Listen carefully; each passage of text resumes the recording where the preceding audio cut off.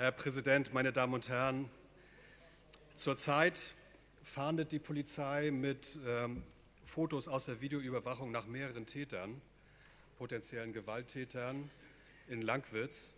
Ähm, äh, und sie hat in den letzten Jahren mit einer Reihe von Videobildern, mit äh, Fotos aus der Videoüberwachung Täter überführen können, die in den öffentlichen Bahnen äh, Gewalttaten begangen haben. Und das ist das, meine Damen und Herren, was wir von Anfang an bei der Frage der Videoüberwachung immer gesagt haben.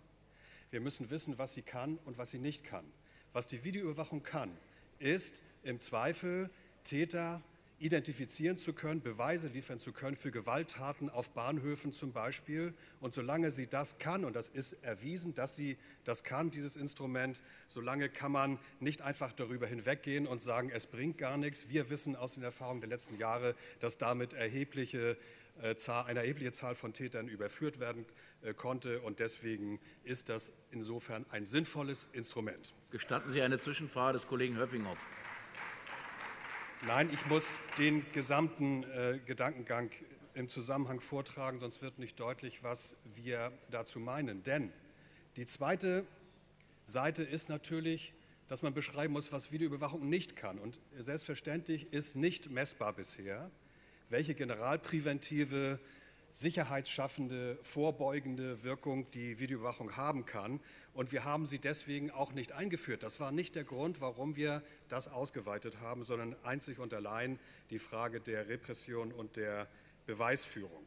Und deswegen sind wir nach wie vor skeptisch bei der Behauptung, Videoüberwachung schafft mehr Prävention oder schafft mehr Sicherheit. Nein, Sicherheit schafft man durch Personal, durch Doppelstreifen, durch Präsenz vor Ort, durch Reaktion in tatsächlich in dieser Minute, wenn das denn möglich ist.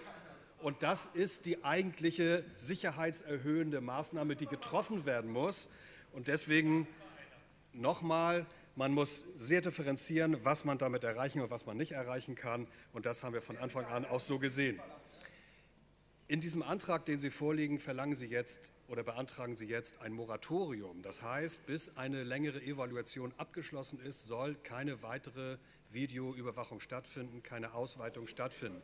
Und das halten wir in der Tat für fahrlässig. Das kann man so strikt nicht machen, wenn es eine Berechtigung gibt, wenn die Polizei sagt, wir können an einem bestimmten Ort durch Überwachung vielleicht leichter Täter überführen, müssen wir uns dieser Sache stellen und können sie nicht von vornherein ablehnen. Wir können darüber diskutieren, zum Beispiel, was wir am Alex machen. Äh, allerdings muss man immer darüber gleichzeitig nachdenken und mitentscheiden, gleichzeitig mitentscheiden, dass dort Personal zur Erhöhung der tatsächlichen Sicherheit eingesetzt wird. Das wäre unverzichtbar, wenn man die Überwachung ausweiten will. In diesem Zusammenhang macht Videoüberwachung Sinn und deswegen werden wir Ihrem Antrag nicht folgen. Dankeschön.